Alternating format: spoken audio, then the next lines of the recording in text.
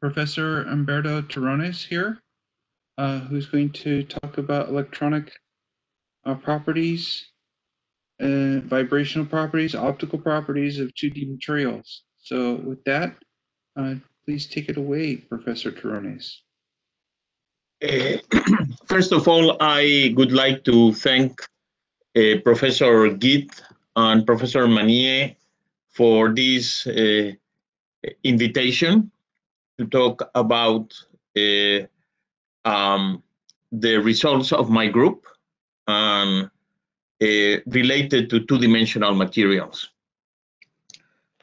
Uh, in this talk, I will show in general what we can achieve.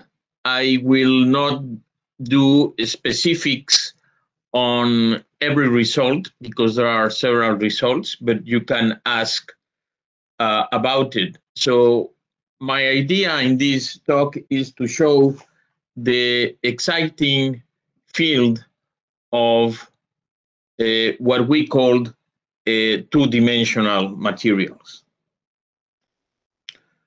Uh, the outline of my talk will be first to um, mention what is a two-dimensional material.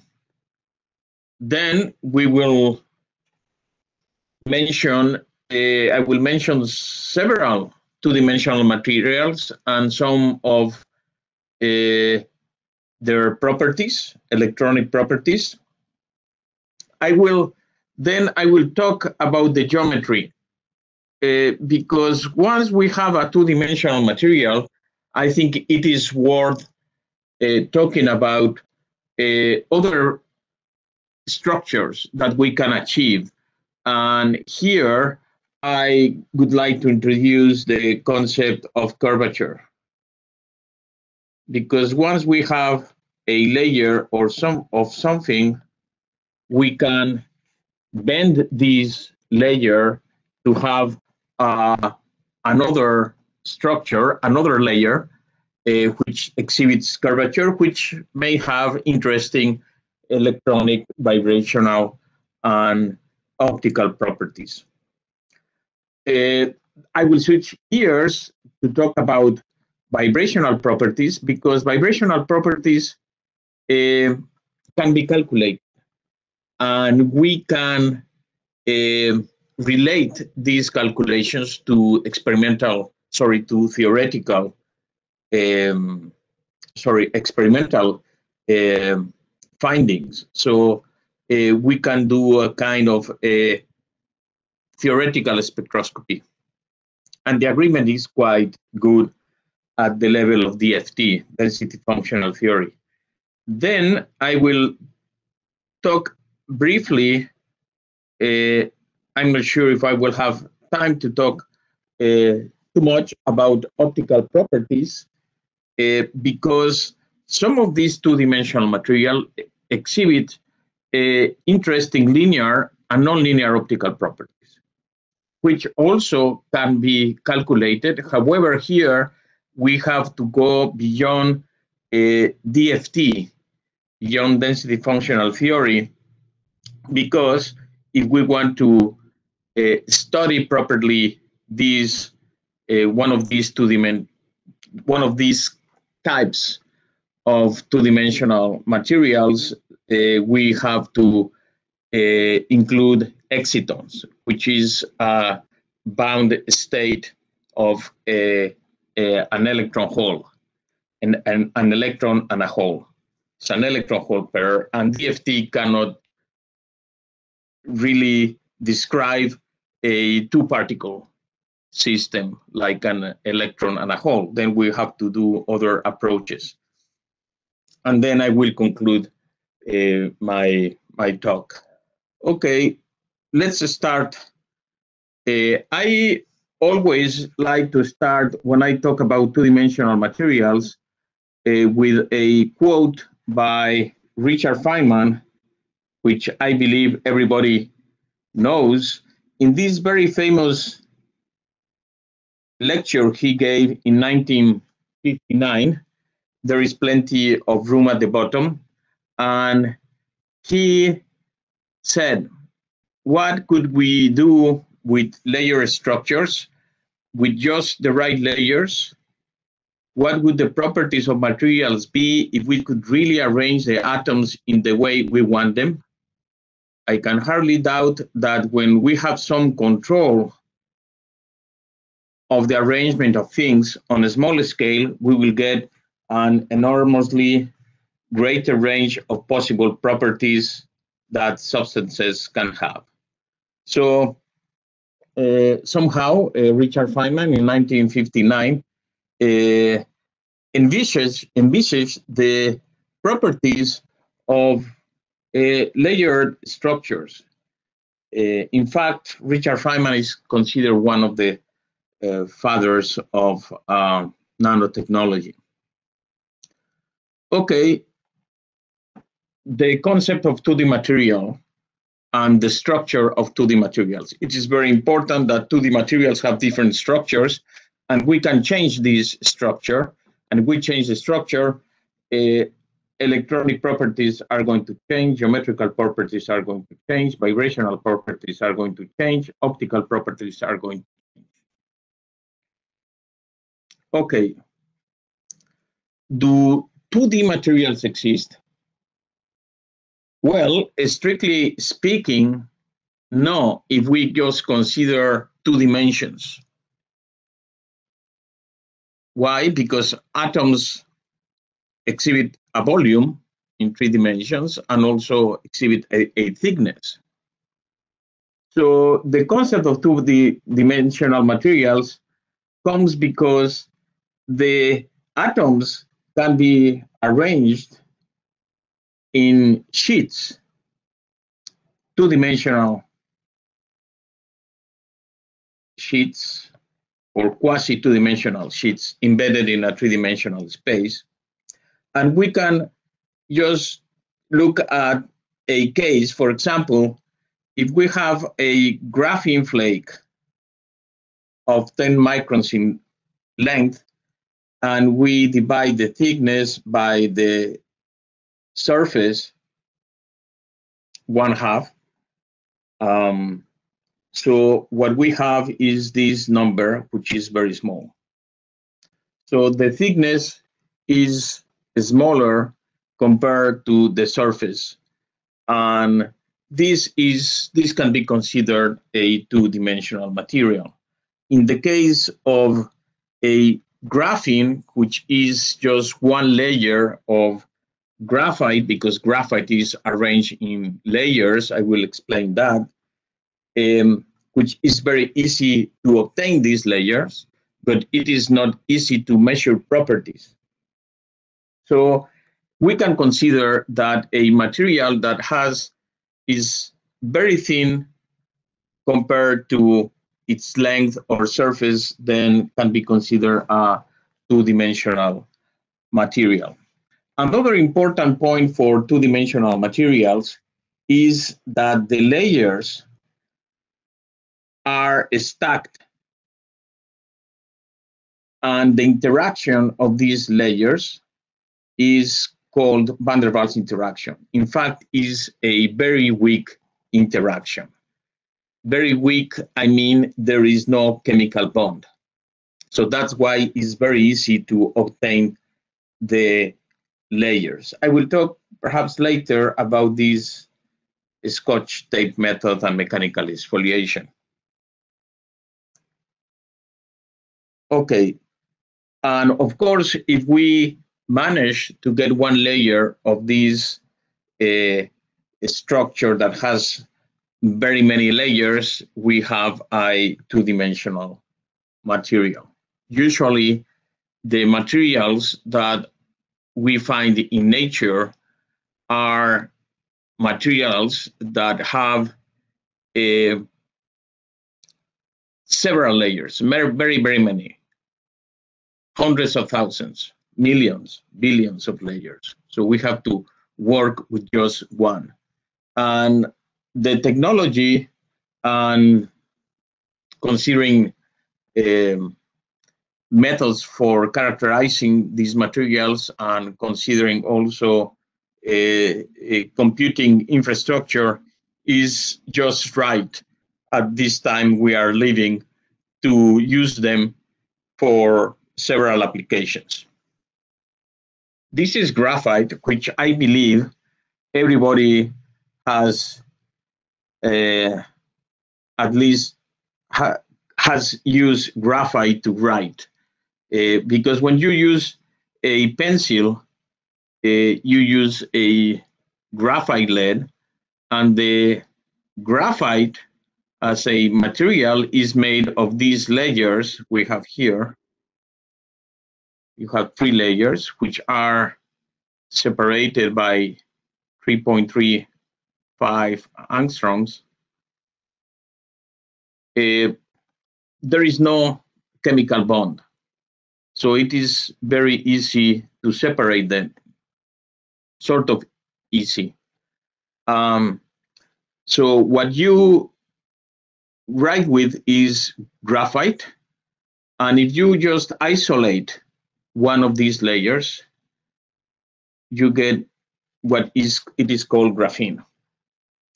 And I have put here graphene, I have put Euclidean geometry because if you write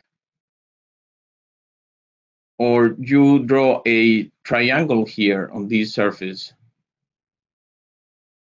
uh, the interior angles of the triangle would, will, will be 180 uh, degrees. If you cut graphene in and you generate a triangle, assuming that you have the tool to cut it, then uh, the interior angles of the triangle will add 180 degrees, and this is the world of Euclidean geometry. I will talk a little bit about the geometry because once we have a one of these monolayers, we should be able to introduce a curvature and then we will be able to leave Euclidean geometry and visit the two other geometries that we have in for surfaces in three dimensions.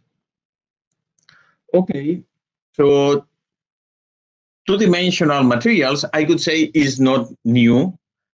Uh, people have been working with graphite, and I will show, uh, I will talk a little bit about uh, history. And uh, there are several, and are known since long time ago. I could say since 1917. Uh, people knew through electron diffraction and X-ray powder diffraction. In fact, the first results were obtained by X-ray powder diffraction. They people knew that this graphite was made of layers, and then uh, people started to study these layer materials and realized that the layers were very easy. You could uh, get one layer, and this is not new. What it is new is that now we have the tools to um, make devices to measure properties. And that's why it, this is very exciting. Um, so here i show in this graph that we can have a, uh, these two-dimensional materials can have different electronic behavior they can be insulators uh, they can be semiconductors. We have semiconductors. Uh, some of them can be superconductors, um, like this one, and it also can be uh, uh, semi-metals, which I don't have here, but graphene is a semi-metal, so is a conductor. So I have a list of some of there are thousands of these two-dimensional materials. Also, uh, I'm talking about monolayers, but the crystal associated, that means once you have lots of layers, millions or billions of layers, then you have a crystal that lives in three dimension and some of the some of these crystals can be found found in nature. Others sometimes we need to synthesize them to have nice, nice layers. Because one of the problems we are dealing now is that these materials may have defects. And if you have a defect in your monolayer, uh, then these may change greatly the electronic properties. That's something very interesting. And I will show a little bit about defects and the role defects may play in the context of a changing curvature. So I will go quickly the structure of graphite. Uh, first, um, experiments to elucidate the structure of graphite were carried out by uh, using X-ray uh, diffraction in 1917 by Albert Wallace Hall, American scientist, and in the same year by Peter Debye and Paul Scherrer. And they found that graphite was made of layers. At that time, the problem was not the structure of each layer. They knew that the structure was a like the one we have here. Every atom, every vertex is connected to other three atoms and forming an hexagonal mesh or a honeycomb. So they knew that. At that time, the problem was the stacking, how these layers were uh, arranged. And it turns out that they had a different sample of graphite. And John Desmond, John Desmond Bernal, at the age of 23 years old, uh, he was born in 1901, uh, he found he had a very nice crystal and he used a, a, a monocrystal X-ray diffraction. And what he found is that uh, the stacking of the layers in graphite is a type that is called AB AB stacking. That means the first layer is the same as the exactly in the same position as the third layer, but this one is shifted in a way that the vertex here coincides with a, a the center of a hexagon in the second layer. This is not the best uh, drawing, but this is the drawing that had this publication of Bernal. So uh, I have to mention Rosalind Franklin. He did really a very good job working with uh, graphitic carbons. Um, I what he what she was uh, working with, which is really very interesting. This is related to the stacking, is to see which organic materials, when you carbonize them, uh, you get you when you burn this organic material, what you get is a carbon. You get a carbon black black stuff. And what she wanted to, what she was studying was if the uh, stacking of the layers was the same as the stacking that um, Bernal predicted or had a different stacking. And she found that graphite or a carbon material can have different stackings and in fact can have a random stacking which this is called turbostratic so of course now our problem is not the stacking what we are not interested in to stack at some point because I will mention that we have two layers. The stacking is important. I will mention this later on because you can have a in bilayer graphene, you can have a superconducting behavior. So, but nowadays, the interesting properties of a graphene comes come when when you have one layer. I will, uh, so this is one. Uh, um, of the two-dimensional materials, perhaps the first one and the easiest one. Um, I will mention later about the uh, the uh, the properties, but let's talk about other two-dimensional materials.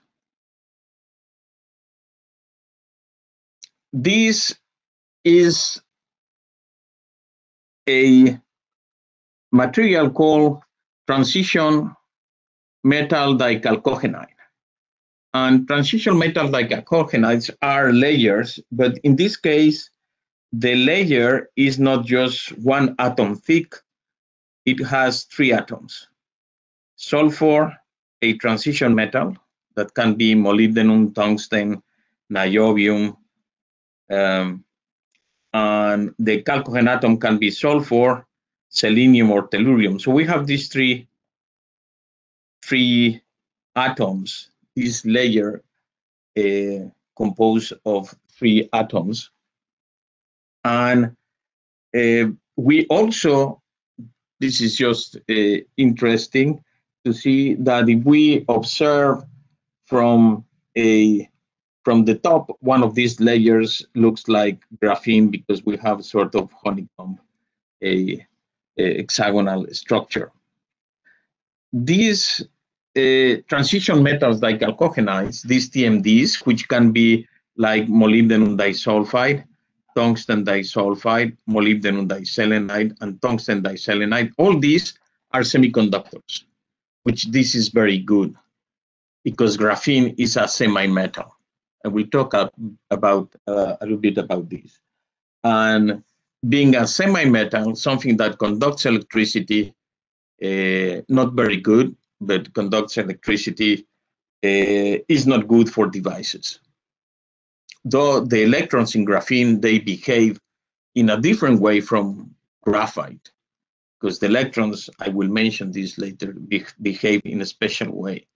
But the interesting thing about these these other two these uh, two-dimensional materials is that there are semiconductors and they possess a direct bandgap.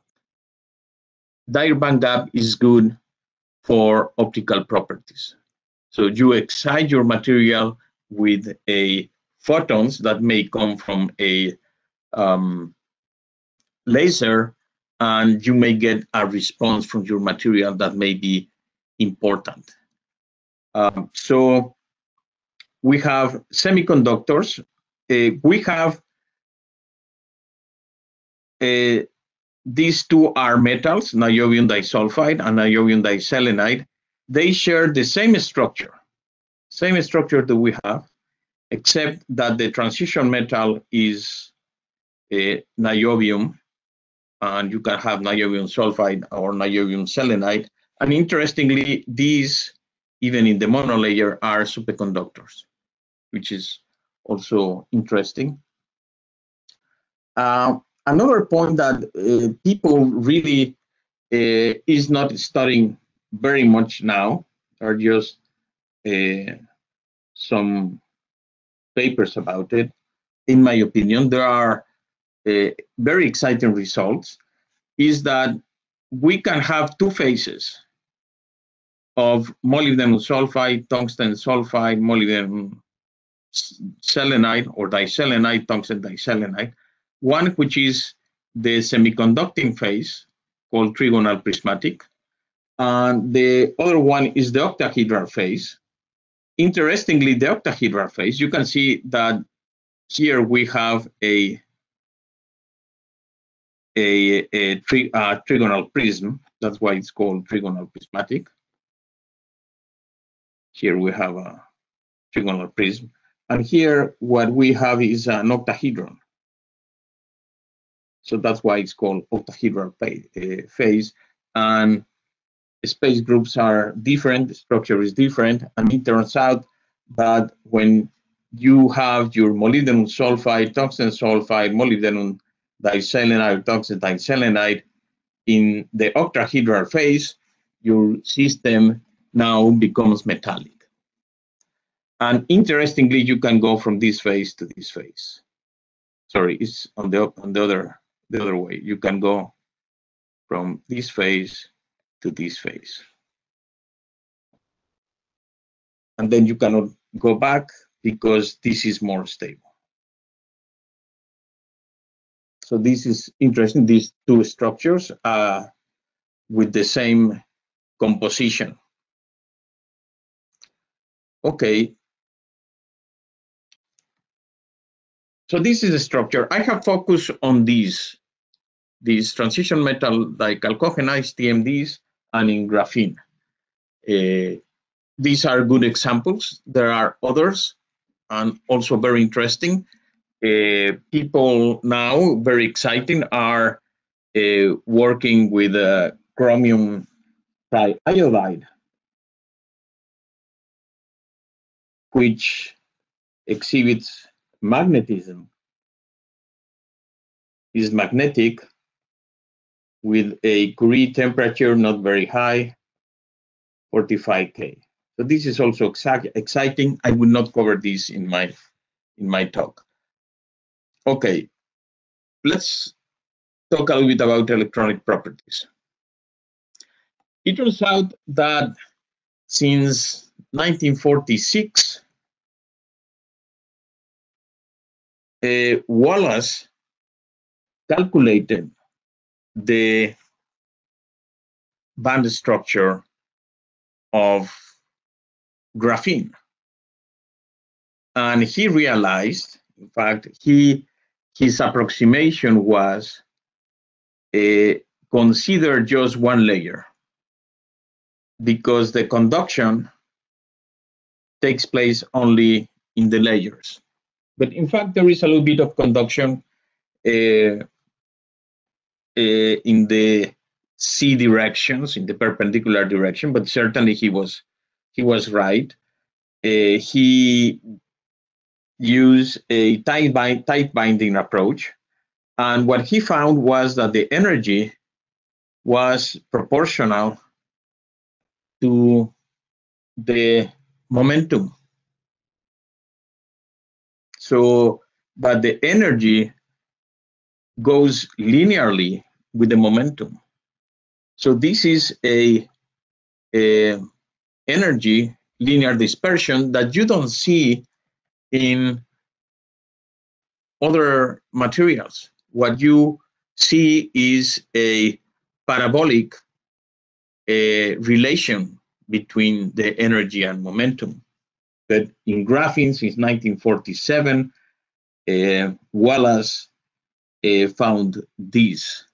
So this is not new. People knew that the graphene had this linear dispersion, at least theoretically. So the important achievement of Andre Geim and Konstantin Novoselov was that they were able to measure that certainly you have a linear electronic dispersion. And due to these experiments, uh, they got the Nobel Prize because this linear dispersion had uh, several implications. Uh, electrons behave differently. You don't follow the Schrodinger equation in which you have parabolic bands. What you follow is the Dirac equation. So your electrons behave as massless Dirac fermions. So uh, this is really very important um, discovery and uh, they got the Nobel Prize for this. Okay, so here, just I'm sure some of you uh, who have taken the course, solid state physics course with me, this is the energy dispersion of graphene. So it's linear dispersion. Uh, it is linear around a this point, which we call K point, because this is a, a point in one of the uh, is one of the symmetry points in the Brillouin zone. Uh, so at the K point is linear. So this is just one monolayer, one monolayer. As if you put another layer on top, then your dispersion becomes, you have these two bands and your dispersion becomes parabolic and so on. So the monolayer is the important. Having a monolayer is important. However, by layers also may be interesting, and I will show you why. This is a calculation I performed uh, using density functional theory with local density approximation, which is the easiest and the fastest. And this is the band structure that you get. Here I have marked with a red circle that around the K point you have a linear dispersion. Outside the K point, then that's not does not happen. So so here is the band structure. I have also plotted the density of states, which is a, a sometimes important uh, to this is a projected density of states to show us that uh, uh, we can study the how our bands behave. Uh, so here was done with DFT um, and can be calculated uh, easily. One important message is that, uh, of course, what you need is coordinates to perform this calculation. Now with the materials database, there is also a two-dimensional database, the two-dimensional materials database. You can get the coordinates of uh, all of these materials, which on the other hand, it is not difficult to obtain them uh, by hand. Uh, so, okay, this is something, this was a very surprising paper in 2019, last year, which I should have put. And what the group of Pablo Jarillo Herrero, what they found, in fact, there are other groups here, but was that if you have a two layers, by bilayer graphene, two layers, and then you twist one of the layers by a 1.05 degrees. You change the electronic properties. Now you have the, your bilayer. And what you do here is, here is the density of states. The Fermi level is here now. It has shifted.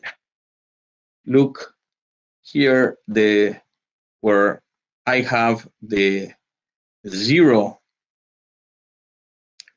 is where my Dirac cone, this by the way is called Dirac cone, is exactly in the middle of these uh, on, my, on my of my density of states.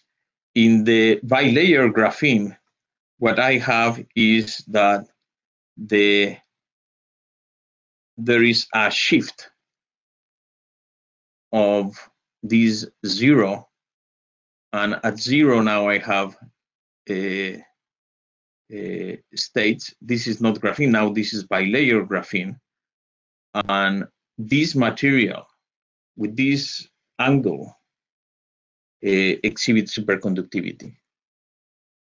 And I have here a, this is not the magic angle of 1.05, but this is to show you that when you rotate one layer over the other one, what you generate is a moire pattern. I think you can see that this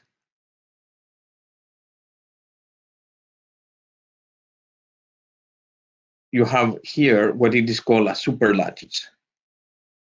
And this super lattice, uh, you can calculate the electronic properties. Of course, the super lattice uh, will have lots of atoms, and this, but this can be calculated.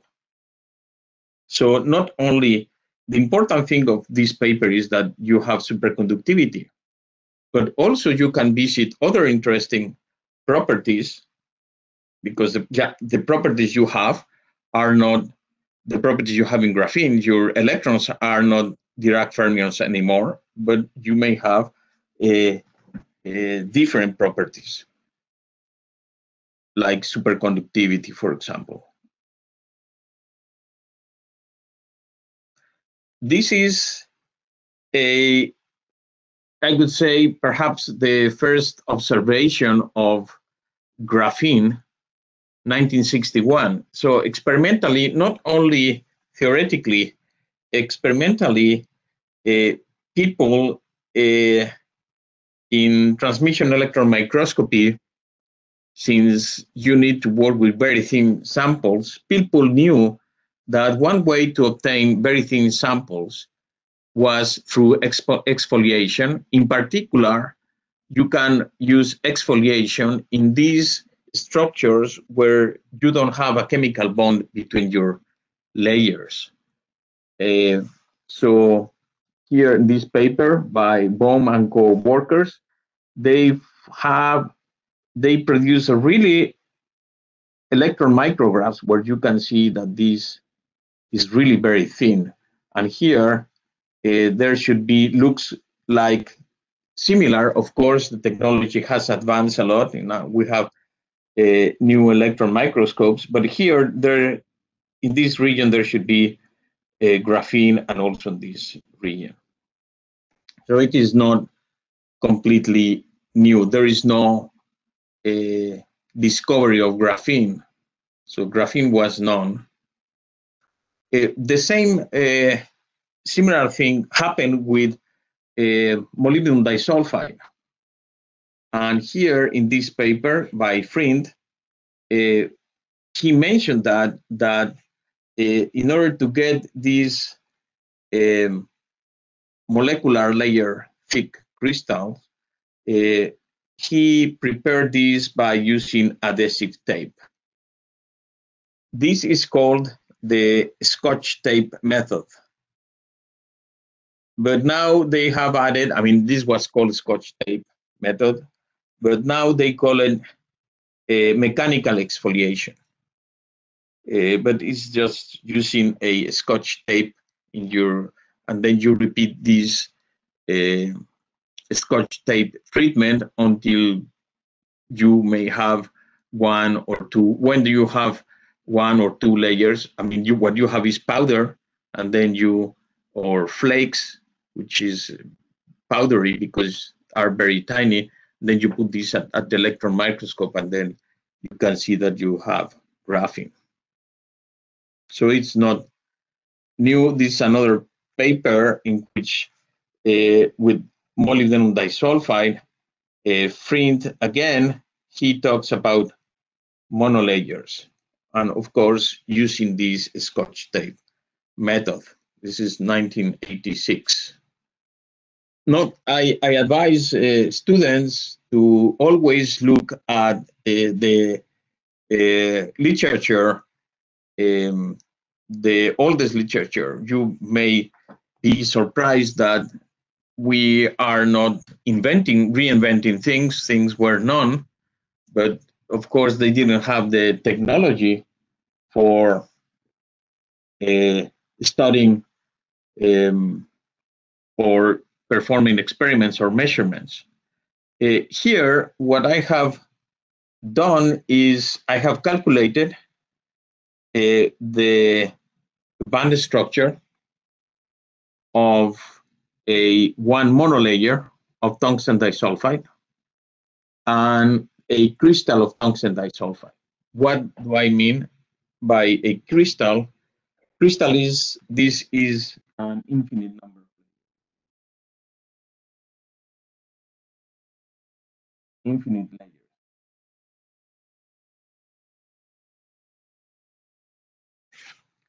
and you can see the difference. I have, these are what is called the uh, high symmetry points. Uh, what we have, these structures, this is not right, because this should be a hexagon.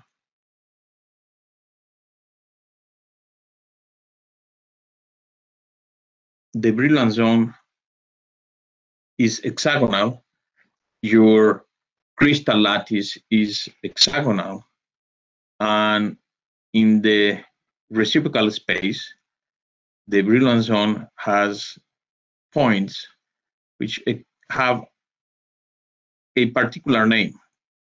This is called M, which we have here. This is K, which we have here.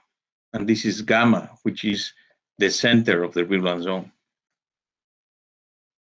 And we can see here in the monolayer that this is the valence band. And here we have the conduction band. In fact, all these are conduction bands, and these are all these are valence bands. That there is a separation between the valence band and the conduction band.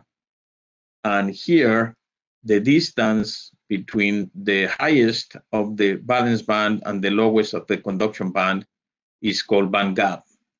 And if I have a band gap, then I have a, a semiconductor.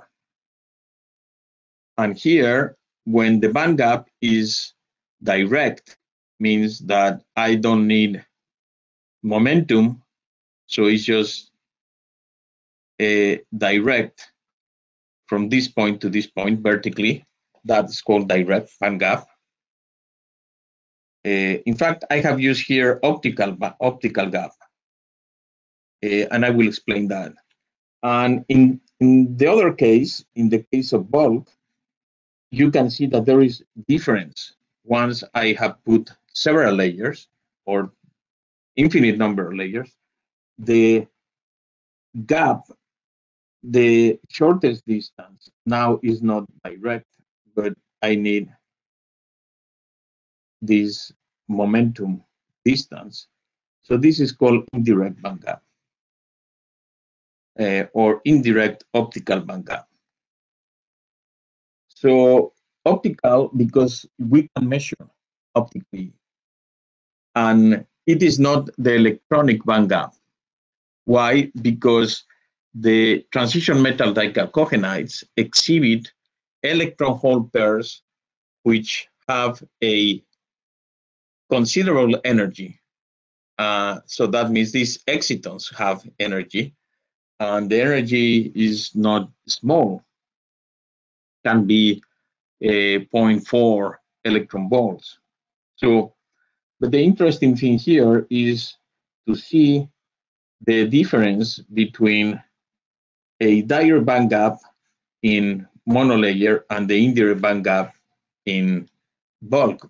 But what happens when we have a bilayer? Here I have the direct band gap of the monolayer, and as soon as I put, just similarly to graphene, when I put the other layer on top, my system does not behave. In the case of graphene, my electrons do, do not behave as Dirac fermions. Uh, and in this case, my system does not have the direct band gap that it is important for optical properties. For optical properties, having a direct band gap, it is uh, very important. So if we add a another layer, so we have three layers, we continue having a, a indirect band gap and the size of the band gap changes. And if we have uh, four layers. I continue having an indirect indirect band gap and also when I have the infinite number of layers. So this is, so working with monolayer is important in the case of transition metal dichalcogenides, TMDs there is, beside excitonic effects, excitons, uh, it is important to mention that uh, these uh, transition metal dichalcogenides exhibit a what it is called a, a strong a, a spin orbit coupling.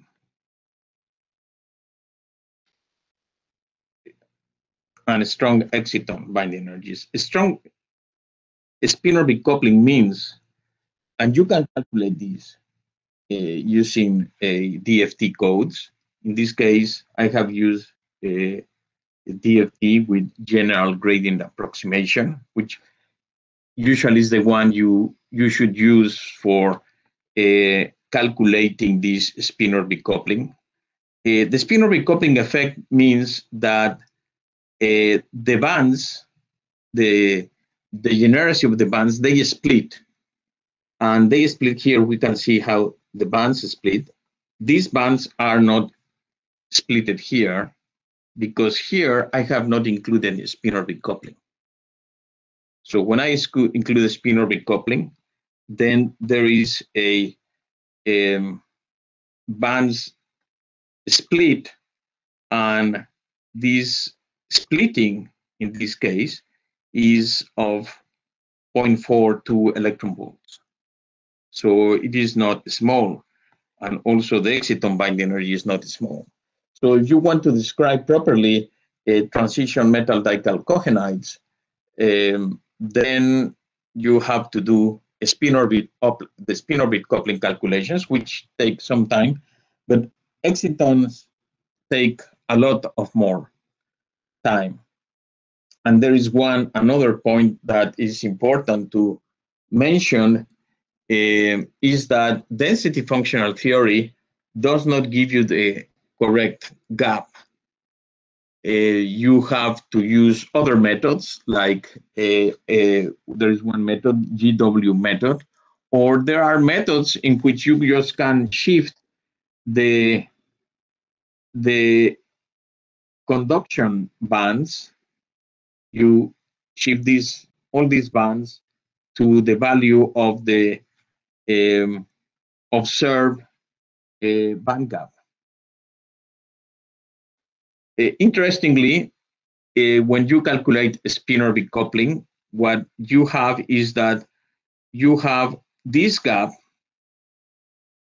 and this gap is assuming that you use a, a photon and you excite an electron from the valence band to the conduction band, um, this uh, electron will uh, form an electron hole pair. Now you have an electron here, you have a hole here, uh, and when this electron hole pair, this electron recombines, returns to the valence band, uh, also you have a photon.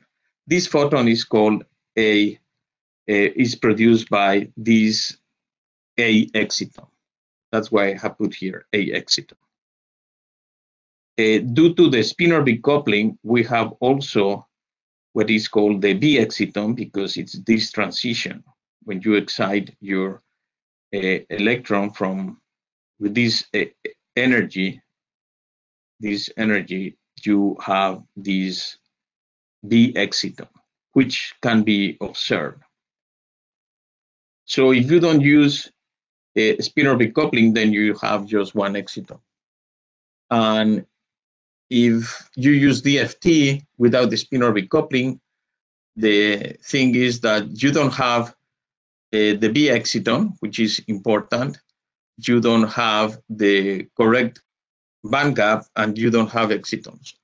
So DFT uh, tells you, it just gives you an, an idea on how things work, but not uh, exactly what is really happening. Uh, this is uh, also interesting to mention here because we will talk a little bit about curvature.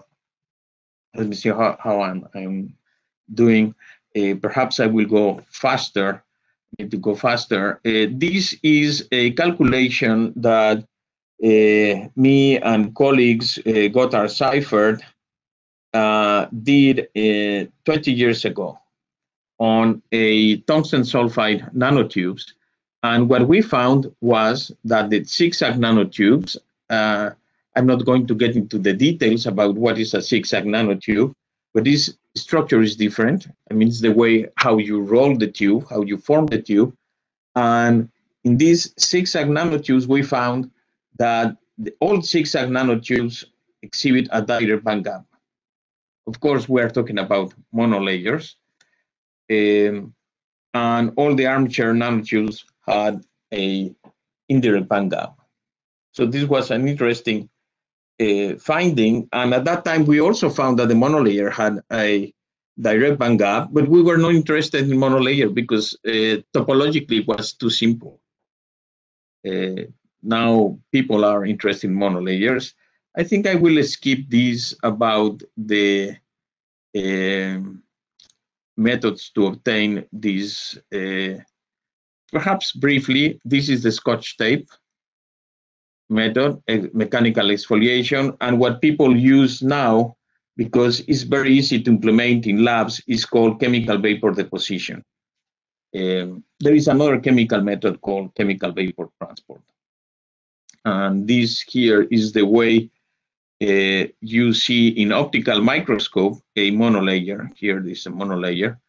And when you use exfoliation, you also have uh, more layers. This has more layers. Uh, also, this this piece has more layers. So what you work is with pieces. And with the chemical vapor transport, you have more control, but the quality is not so good. So all this is a um, piece of a two-dimensional material. Okay.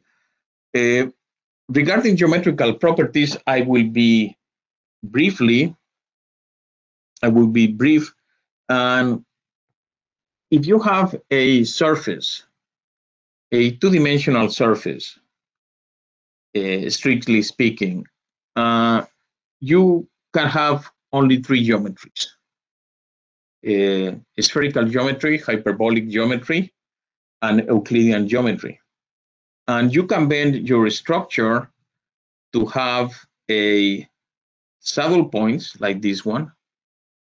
You can have this point, which is called elliptical points. And you also uh, can roll, for example, you can roll a, a sheet of graphene to form a carbon nanotube, and you have a points like this one. Uh, there is one in differential geometry. Uh, uh, it's more like it's a definition because uh, is the product in two dimensions. A surface has two principal curvatures. These are the principal curvatures, which and the principal curvatures, their vectors are orthogonal. So if I vector in this direction, vector in this direction, this is 90 degrees. Uh, the product of the two principal curvatures is called Gaussian curvature. And the average of the two principal curvatures is called mean curvature. So if you are able, you should be able, at least in theory, to introduce in two-dimensional materials curvature. But how to do it?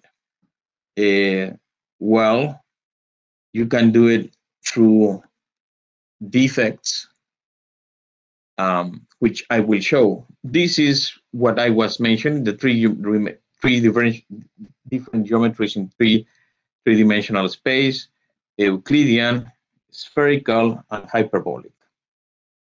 So let's talk about graphene. Uh, I have to mention before talking about graphene that nature uses these uh, different geometries in three dimensions, Euclidean, hyperbolic, and uh, spherical or uh, elliptical um, in, in at different levels of complexity. This, for example, is the skeleton of an echinoderm when all the uh, soft matter has died. So these holes are left.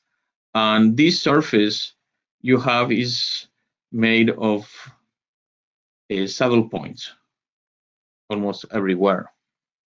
Uh, in water lipid surfactant systems, you can have these micelles, which can be spherical, here, different types of micelles. Uh, and also you can have these geometries which exhibit a negative Gaussian curvature, so hyperbolic geometry, and also you can have that the uh, amphiphiles that compose these uh, mixtures and also compose the uh, uh, our cells. The exterior shell of our cells is made of phospholipids, uh, which are more or less arranged in, in this way. Uh, but also you can have uh, layers. So at different levels of complexity, this is, for example, the scanning electron micrograph of the eye of an insect. This is a bee, and you can see the hexagons. Of course, with hexagons, you can fill the plane up to infinity, but the eyes of the bees are not infinite. So at the edge of the eye, what you have is these defects. These don't look like hexagons, but distorted hexagons and pentagons, which are needed to bend the eye of the insect. In the same way, we can introduce pentagons to bend graphene. Here is one pentagon, and if you introduce 20, uh, sorry, 12 pentagons, what you have is a C60. This is a molecule uh, of 60 carbon atoms, uh, and the people who discovered this molecule by uh, or synthesized this molecule got the Nobel Prize in 1996. You also can have carbon nanotubes as elongated structures, which in which the curvature here is uh, due to the introduction of pentagonal rings, the ones we have, which, by the way, C60 is a soccer ball. Uh, the structure and the symmetry of C60 is uh, uh, icosahedral symmetry, the same symmetry as the icosahedron. So you can bend, uh, this is an example of how graphene could be bent, but the conditions are different.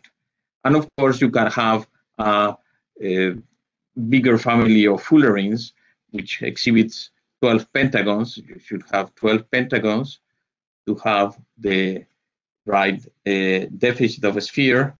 And you can add number of hexagons you want. Uh, and here we have C70, which also has been found, C240, which is icosahedral and has not been found, is a big, big fullerene. But there are other onion-like structures that have been found. So that's also interesting.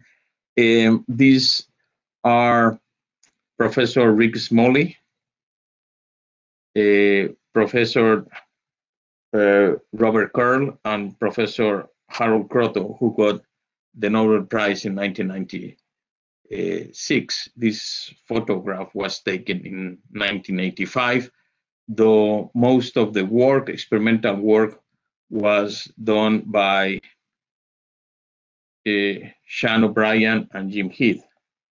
Uh, they didn't get, uh, they just got the acknowledgement. Uh, because the Nobel Prize only can be given to three. Okay, uh, I just will mention that uh, tungsten disulfide, a layer material, can also form nanotubes. And these are examples. Here is the, the distance between these layers is around six angstroms. And nanotubes, these nanotubes can be acquired curvature in at the tips, there are other tips that are open. Um, uh, I will not talk uh, about the mathematical problem of periodic minimal surfaces in depth, but uh, I can say that a minimal surface is a zero mean curvature surface at every point. You have zero mean curvature. Uh, that means that the average of the um, of the uh, principal curvature is zero everywhere. So you have uh, your structure is made of saddle points. And uh, Hermann Amandus Schwarz uh, studied in his thesis periodic minimal surfaces mathematically. He was a student of Weierstrass, Karl Weierstrass, a German mathematician. So what uh, he found was, in fact, what I have here is a Poincaré disk to show that it is possible to have, at least in the Poincaré disk, a surface which interior angles, here the interior angles of my triangle, because this is a triangle, uh, at less than 180 degrees. In this case, is 165 degrees.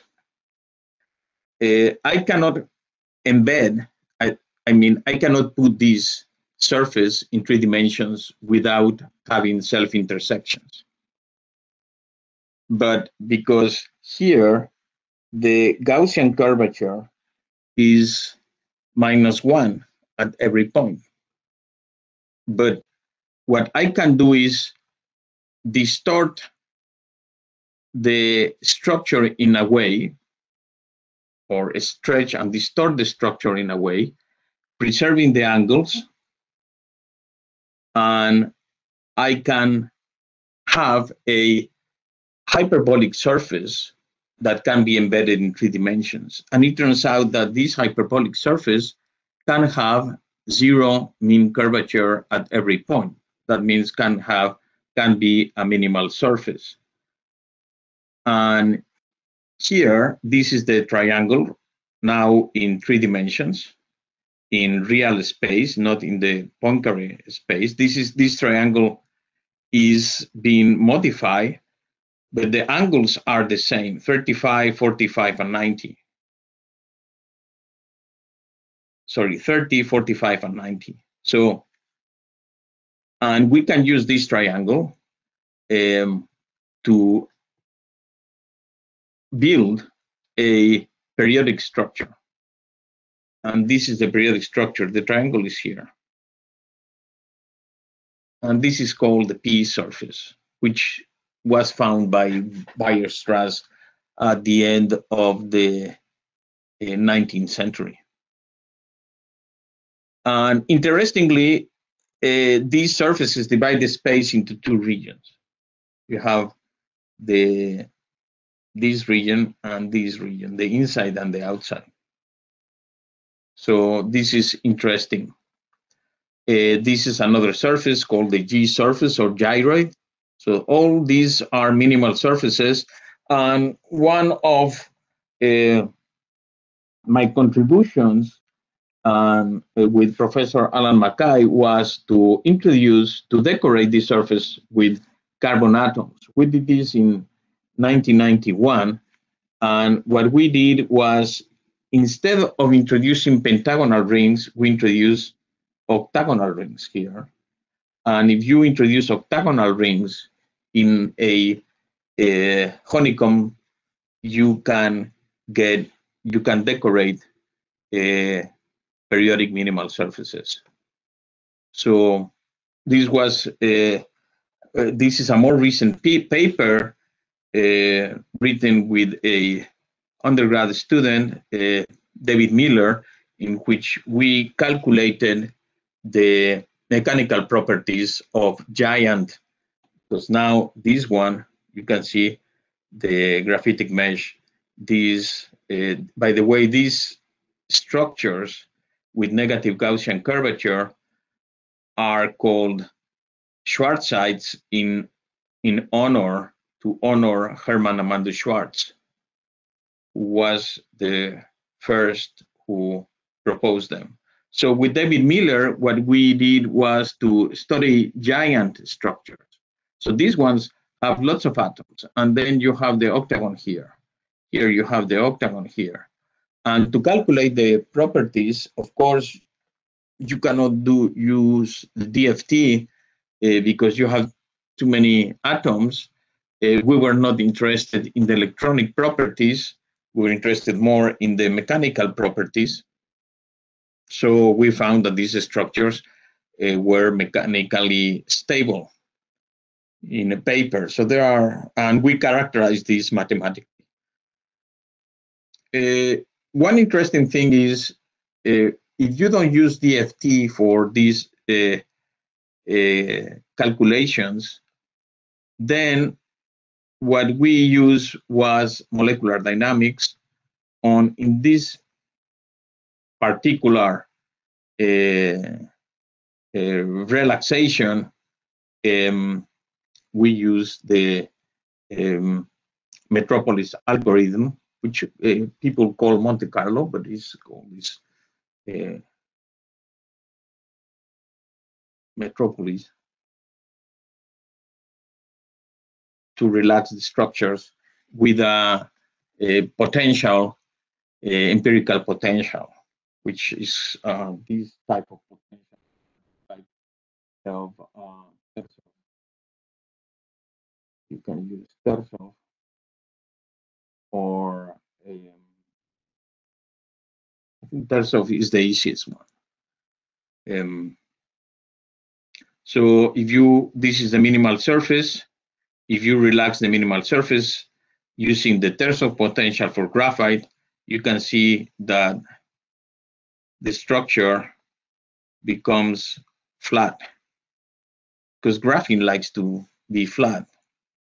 Graphene does not like to have a mean curvature, zero mean curvature everywhere. Graphene likes to be flat. That's why we have this is an important change due to relaxation. However, the topology does not change.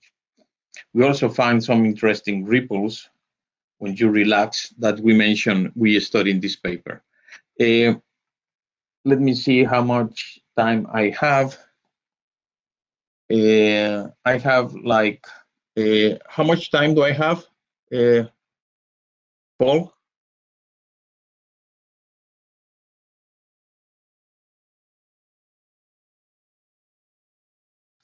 Okay, I think I have uh, on 20 minutes. So you can introduce defects in these structures.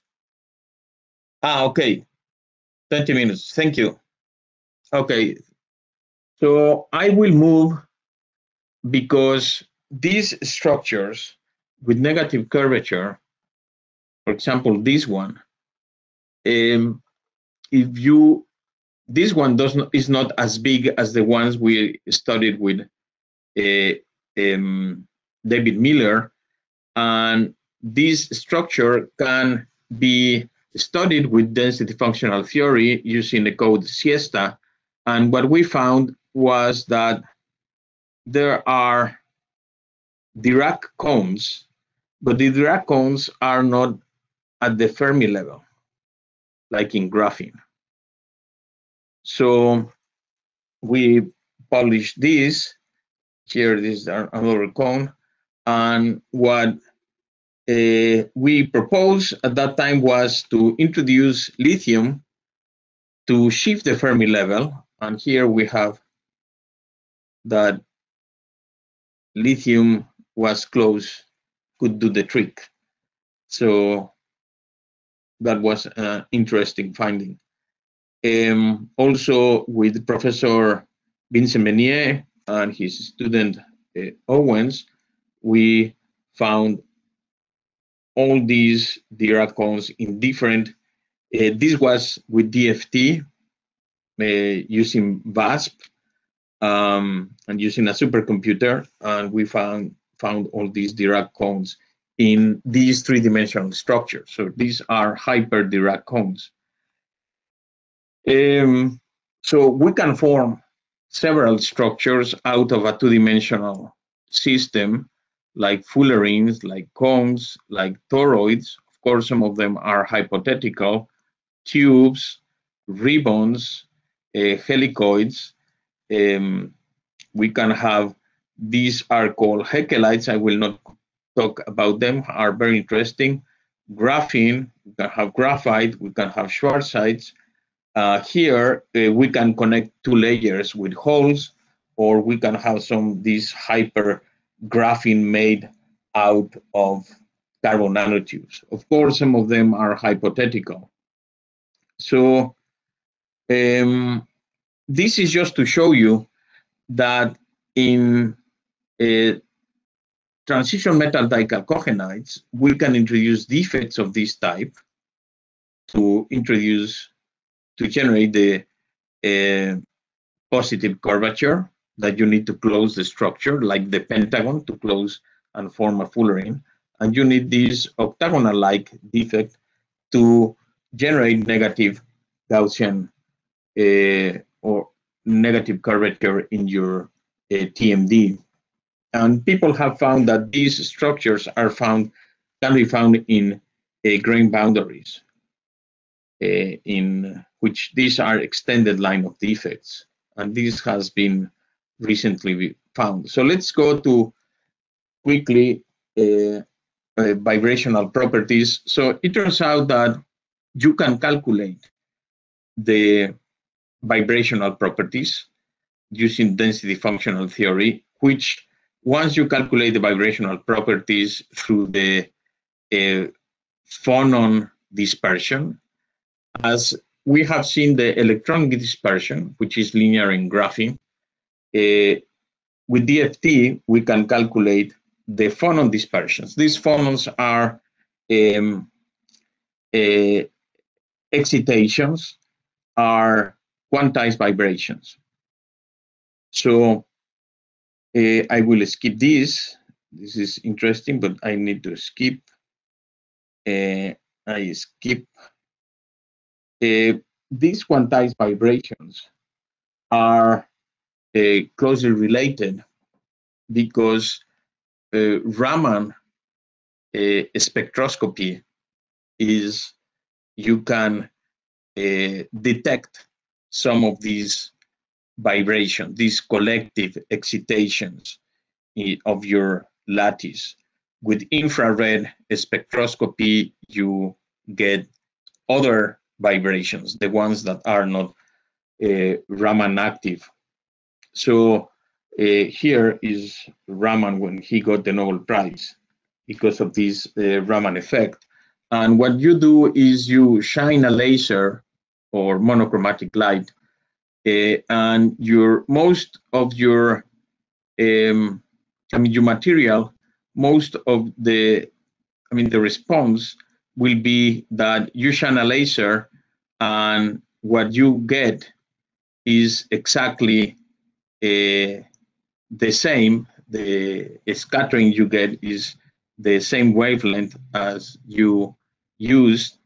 Uh, however, there it, it happens that when you uh, excite, uh, your scattering is not exact the same wavelength. And then you have this shift, this difference. And this difference tells you about the uh, Raman, uh, about the vibrations of your system. Um, so here, this is to show you, uh, this is the phonon dispersion.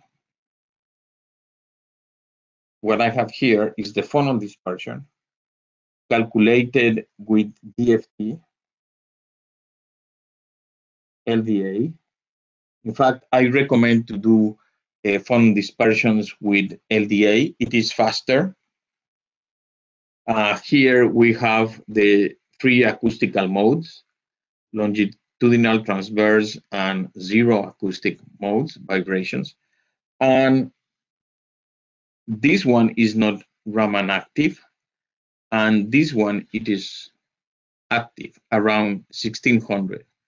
This 1600 mode corresponds to what people call the G, G band in uh, Raman spectroscopy the D band, which is associated with defects, is a around here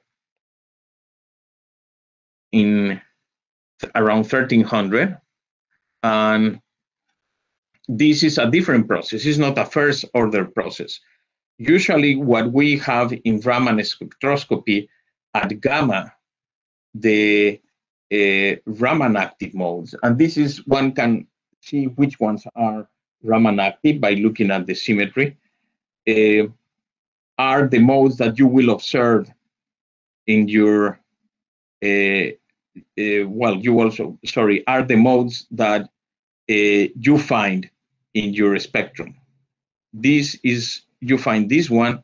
This one is not a first order mode. It's called the D band and is due to defects. And so you can use, you can study different orders, uh, but uh, all the information is given in your of the possible vibrations or the possible values you can have in your uh, Raman spectrum in this graph in the phonon dispersion. Uh, to calculate or compute um, resonance processes is more complicated. Is more complicated, and I have a reference here. I will skip this one. I will not talk about um,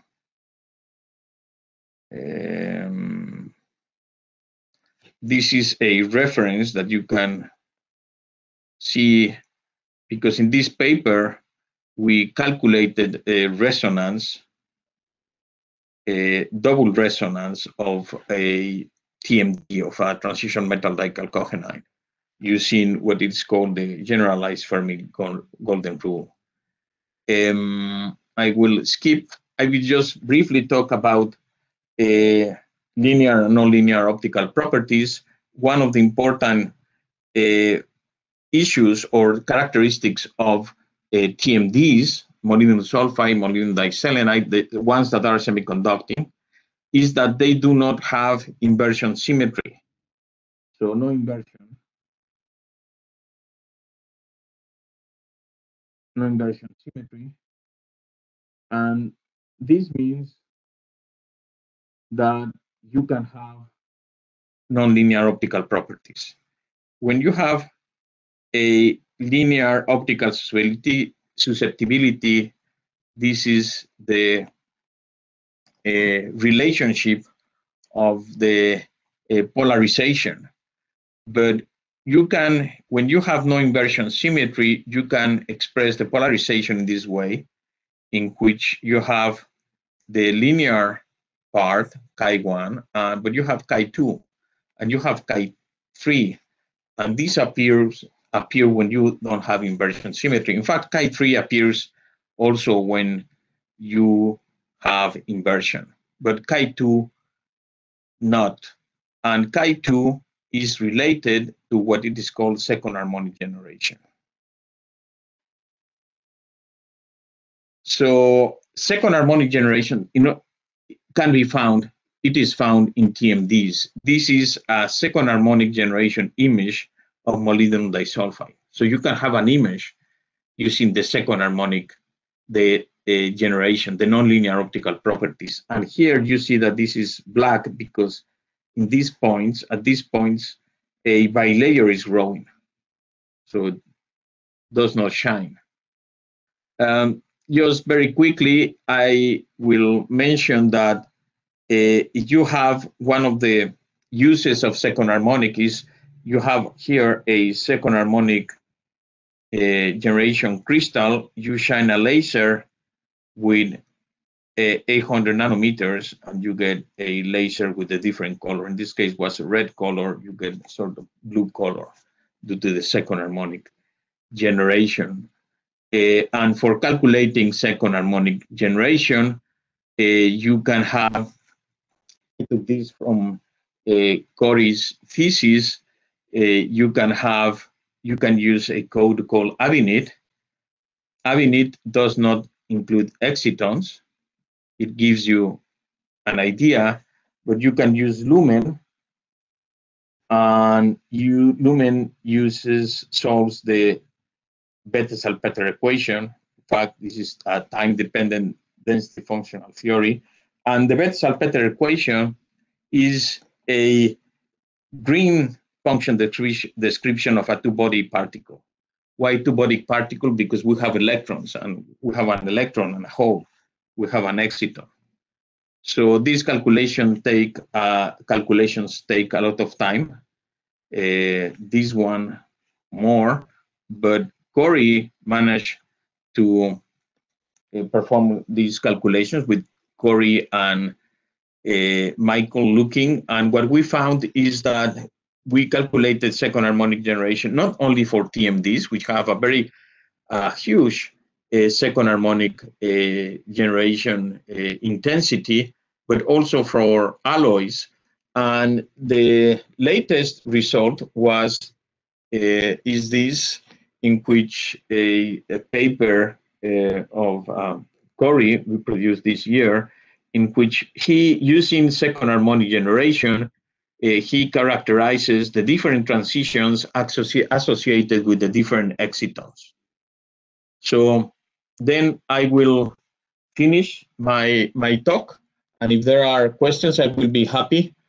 Um, I should have uh, gone faster, but uh, this is what I have. Uh, thank you very much.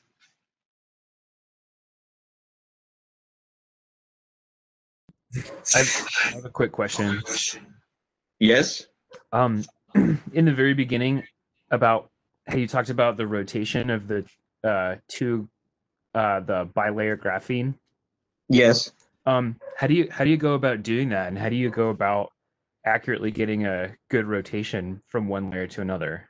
Now, uh, uh, experimentalists, uh, because theoretically you can do it very easily, experimentalists they have managed now to twist almost the angle they want.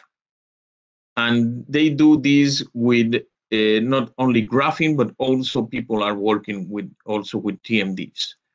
This is more a experimental uh, technique, uh, but I know they have a very good control. That's why they found these. I see. So they can get it down to a good degree of accuracy. Yes, Okay. yes. Cool. Another question?